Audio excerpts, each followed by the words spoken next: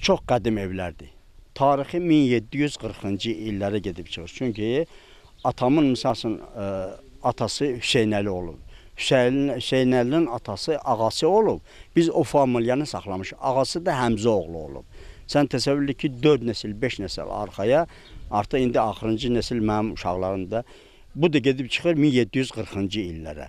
Şabran rayonunun Dağbilici kəndində tarixi 18-ci əsrlərə qədər uzanan Ağasiyevlərin mülkünü zamana tabe olub illər yıxmasa da, qəfil başlayan yanğın fəlakəti ondan yan ötüşmədi. Özü ilə birgə neçə nəsillər yola salmış xatirələr divarını söküb yıxdı. Amma tək yandırıb yıxdığı qədim daş divarlar olmadı. Yanan mülklə bərabər illərlə toplanan, yığılan qiymətli folklor və qiymətli incəsənət nümunələri də oldu.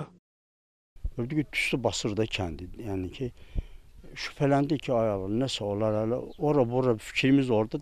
Təsəvvür edin ki, 10 dəqiqə vaxt keçdi biz palatkanı orada tutanda. Yoldaşım da gəldi dalımıza. Gələndə gördük ki, dum dumandır. Dumanın içindən birdən qırmızılaşdı duman. Duman ot kimi girdi üstümüzə. Hə, ki üstdən də gördük ki, tökülür od. Deyə görürsüz ağacların nə vəziyyətdədir. Tökülür od, çaşdıq. Gördüm əmim oğlunun uşağı da gəldi, körpə uşağına. Dedi, əmi hara qaçım mən? Qaçdı evlərinə tərəf, gəh boyuna.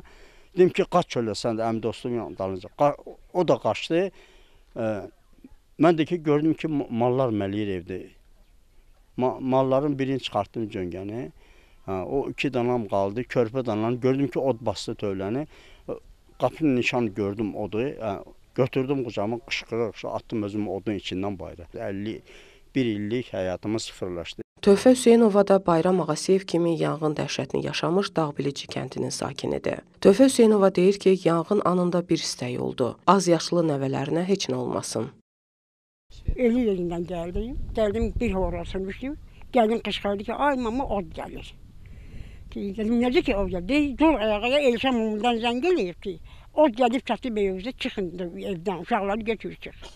Gəlib mənə sürüyə-sürüyə apardı aşağı. Maşını mindirdi, yola saldı, getdim Elşənin evinə. Gecə saat 12 kimi qaldım orada, gəldim gördüm, bayramın evi də bıçaq yanmış.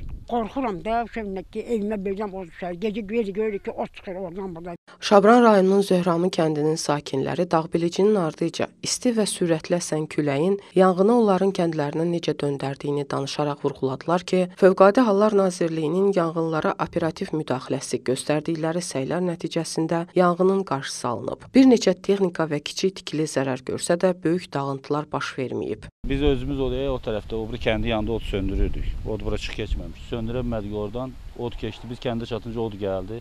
Gəldi bastı deyə buralar bütün ani moment. Taya Noves yandı, 1500 tay var idi, kombayn yandı, 2 dənə zbor təkəri var idi, yandı. Evin krişasının bir tərəfi yandı. Töllər yanar. Belə hasarı tərtəmiz yandı. Belə pajanlar axı kömək elədi, evi qoymadı tam yanmaya. Şabran rayon icra hakimiyyəti başçısı aparatının sosial-iqtisadi inkişafın təhlili və proqnozlaşdırılması şöbəsinin müdir müavini Fariz Məlikov və icra hakimiyyətinin Dağbilici kəndinin icra nümayəndəsi Xosrov Cavadov kəndlərdəki yanğınla bağlı fövqəladə hallar komissiyasının yaradıldığını və vətəndaşlara dəymiş ziyanlara baxıldığını dedilər. Fövqəladə komissiya vardı, indi dəqiqləşdirmə aparılır. Orada memar da var, icra işçi də var, mən özüm də iştirak edirəm, indi tanış edəcəm. Nə olacaq, indi yazırıq, dəqiqləşdiririk. Sonra inşallah qiymətləndirərlər. Xanım Məmmədova, Vilayət Əkbər, Çingiz Qədimli, Dünya TV.